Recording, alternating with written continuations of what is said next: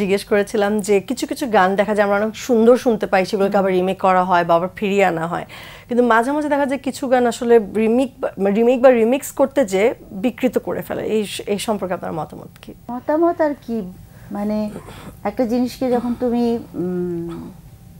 Better করতে পারবে মানুষের সামনে তুলে ধরার জন্য, তখনই তুমি সেই কাজটি করো। তা না হলে করো না। তাই না?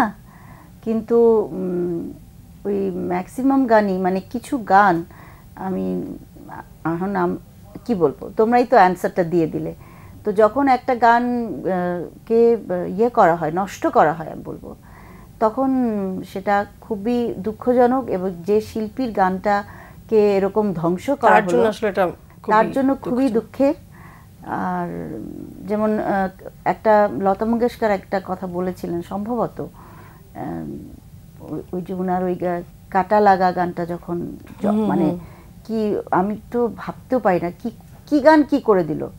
উনি খুব কষ্ট পেয়েছিলেন। তেমনি আমার মা মাঝে মাঝে বলে যে ভাগ্যিস তোমার আব্বা এখন নাই। তাহলে মানে ওই কষ্টেই শেষ হয়ে যেত।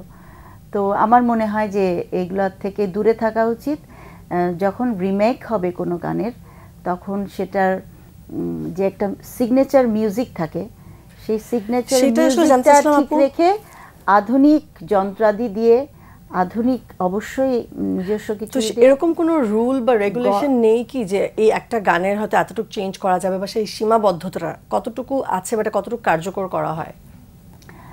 আমি আসলে এটা জানি না। আমি জানি না মানে যেমন রবীন্দ্রসঙ্গীতের উপর একটা আছে বা ছিল তারপরে নজরুলের গানের তারপরে তো অনেক গান দেখা যাচ্ছে গান- নজরুলের গানও অনেক সময় অনেক চেঞ্জেস এনে করা হচ্ছে তো সেটার আসলে লিমিটেশনটা কতটুকু লিমিটেশন তো একটা কি লিমিটেশনটা কি আধুনিক গানে লিমিটেশনটা নাই কারণ এটা আধুনিক যত করা যায়। কিন্তু অবশ্যই আমি মনে করি ব্যক্তিগতভাবে আমার যে গানটা যেভাবে আমি গেয়েছি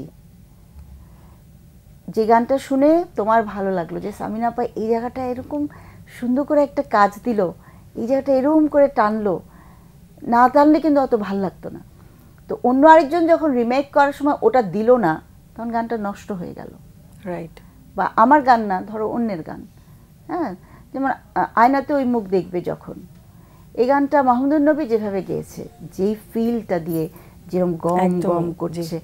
হ্যাঁ সে যে যেরকম উচ্চারণ যেমন আয়নাতে ওই মুখ দেখবে যখন অনেকগুলো খ আছে। এখন যদি সেই গানটাকে তুমি গাইতে গিয়ে যদি তোমার মতো করে মানে অন্যভাবে ইয়ে করে গাও যেটা ভালো লাগছে না তাহলে তো এটা অন্যায় রীতিমতো অন্যায়। তাহলে আমি বলব তোমরা গেও না। গাইলে একদম আরও সুন্দর করে গাও।